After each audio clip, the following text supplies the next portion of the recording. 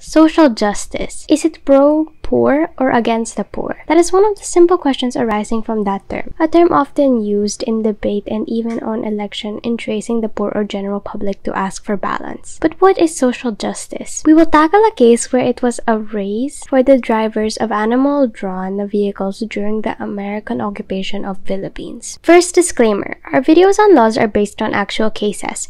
The facts stated have been made public via publications and the internet Therefore, should any details, especially of the petitioner and or the defendant, offensive in any way whatsoever, kindly leave a comment or message us in our Facebook and we will be more than happy to oblige.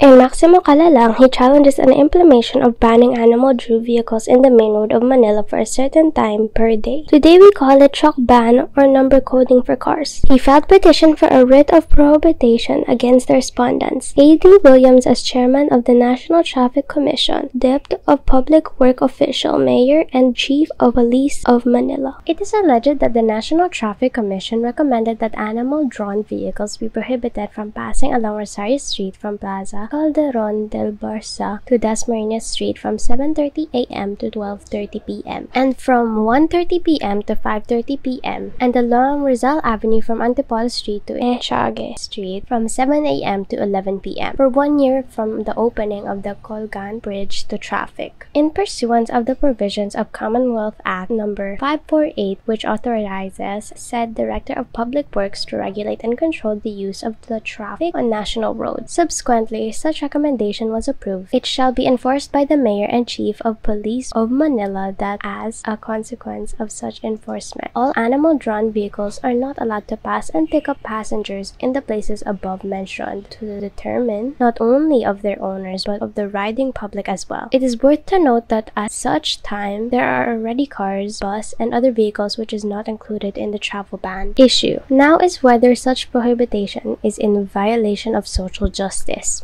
No. The promotion of social justice is to ensure the well-being and economic security of all people. The promotion of social justice, however, is to be achieved not through a mistaken sympathy towards any given group. Social justice is neither communism, nor despotism, nor atomism, nor anarchy, but the humanization of laws and the equalization of social and economic forces by the state, so that justice in its rational and objective secular conception may at least be approximated. Social Social justice means the promotion of the welfare of all people, the adoption by the government of measures calculated to ensure economic stability of all competent elements of society, through the maintenance of proper economic and social equilibrium in the interrelations of the members of the community constitutionally, through the adoption of measures legally justifiable or extra-constitutionally, through the exercise of powers underlying the existence of all governments on the time-honored principles of salus populi est suprema lex. Social justice, therefore, must be founded on the recognition of the necessity of independence among drivers and diverse units of a society and of the protection that should be equally and evenly extended to all groups as a combined force in our social and economic life, consist with the fundamental and paramount objective of the state of promoting the health, comfort, and quiet of all persons, and of bringing about the greatest good to the greatest number. To summarize, in social justice, there is no poor or rich, illiterate or educated, haves and have not. It is the balance and equilibrium for all. Social justice, in simpler terms, is a roof over your head, a shirt on your back, food on the table, and a little dignity.